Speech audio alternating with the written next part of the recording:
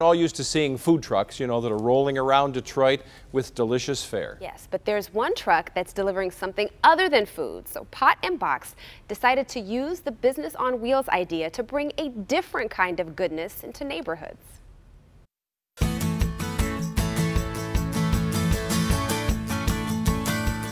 Spring is in the air and April showers have delivered the flowers.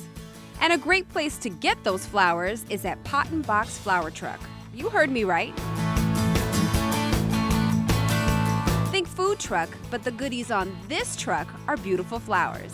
I bought the van off of Craigslist. Um, it used to be an ice cream truck, and so kind of it was already a little refrigerated. And I was thinking, wouldn't that be fun if we could sell flowers out of it? And people really love it. Um, you know, the kind of here and there, and you have to find us. And you know, we have a regular schedule, but it's still a little like fun. Yeah. Yeah. Today they're parked in Midtown and getting ready for business.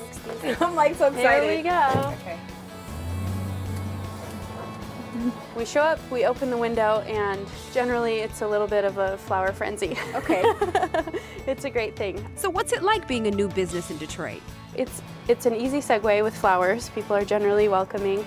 Um, but you know, I think um, Detroit kind of um, sets the stage for something a little different, um, and so the truck has been incredibly well received. Has this been a good way for you to jump into business as opposed to like opening up a brick and mortar store? This has been the perfect way for us to get into retail. You know, I had explored it in the past, it didn't feel right. I, the last thing I wanted was to, you know, be sitting around with a bunch of perishable flowers right. and have no one come in. It feels really good at the end of the day when I come home and it's an empty truck. Right, right. and with all the beautiful options, how could you go wrong?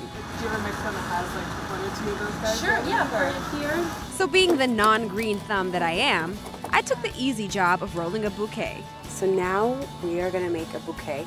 I wore my bouquet Look scarf just for you.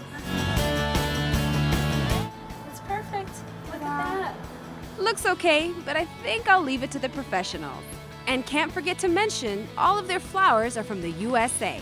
The same reason why, um, you know, when we think about slow food and knowing where our food comes, the very same reason. We love to know the farms where my flowers come from.